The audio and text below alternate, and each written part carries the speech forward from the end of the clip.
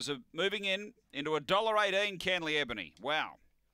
From two dollars in. Light on. Set to go.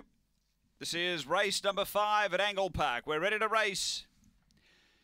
On their way and didn't step overly cleanly, Canley Ebony. Third away and just looking for a bit of room early. Got around that uh, lead. It caught little buffeting again. They go to the back and Demolisher. Away by a couple on Aston Jedi. Next is Winsome Bailey. Gee, Canley Ebony six off the lead and trying to get back to the rail. Uh, not looking likely. Then came Nero Shiraz and River Racer up to the turn. Demolisher comes to the bend. Three or four in front of Aston Jedi. And then came Canley Ebony. Uh, but clear Demolisher. And Demolisher Demolisher goes on to win. Aston Jedi second. Well, Canley Ebony has burnt some fingers again tonight third. Then Nero Shiraz from Winsome Bailey and River Racer back at the tail end. The time here is around 30 and 10.